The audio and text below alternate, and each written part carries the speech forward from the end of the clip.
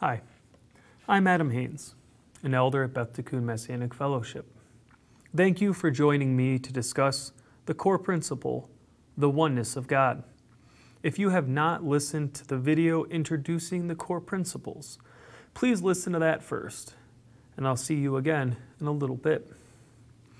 As mentioned in the introductory video, I will not be having an exhaustive conversation about each core principle. Rather, I will be trying to help you get your independent studies started by taking a few minutes to string together a few pearls. First, grab your copy and let's read the core principle.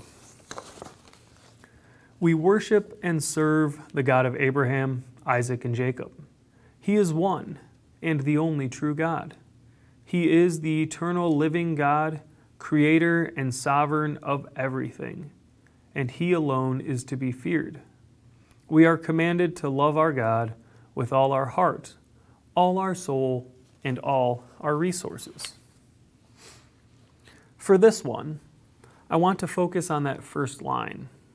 We worship and serve the God of Abraham, Isaac, and Jacob.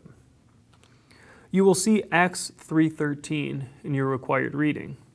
Here, Peter refers to God as the God of Abraham, Isaac, and Jacob, the God of our fathers. This title appears about 11 times in Torah. Why did Peter choose this one? We can compare this choice of title to El Elyon, Lord Most High, which appears roughly 28 times in the Hebrew Scriptures, or Adonai Zevaot, God of Hosts, which appears over 280 times. Or we could compare it against El Shaddai, nourishing Lord, or Adonai Rapha, healing God, which appear less frequently, but they are fitting titles following a healing. Or perhaps in his frustration over the situation, Peter could have referenced Deuteronomy 4:23, which says, "For the Lord your God is a consuming fire, a jealous God." Instead, he went with the description God chooses in Exodus 3:6, also mentioned in your required reading. I am the God of your father, the God of Abraham, the God of Isaac, and the God of Jacob. This is because this is God's relational title. God's other titles are an expression of his character. While reflected in his actions, these titles do not come from his choices, but from his essence. When God declares, Ehyeh, Asher, Ehyeh, I am that I am, he is making a statement that what he does emerges from who he is. But in the next utterance, he says something profound. This is what you shall say to the sons of Israel Adonai, the God of your fathers, the God of Abraham, the God of Isaac, and the God of Jacob, has sent me to you.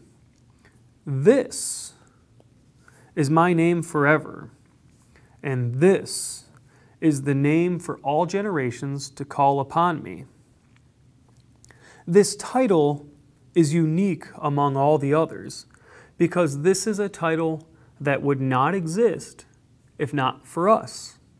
It is a title that began with Abraham and Isaac and Jacob, and it has been carried through the generations. Consider another passage from your required reading Isaiah chapter 45, verses 5 and 7. I am Adonai, and there is no one else. There is no God except me. I will arm you, though you have not known me, so that people may know from the rising to the setting of the sun that there is no one besides me.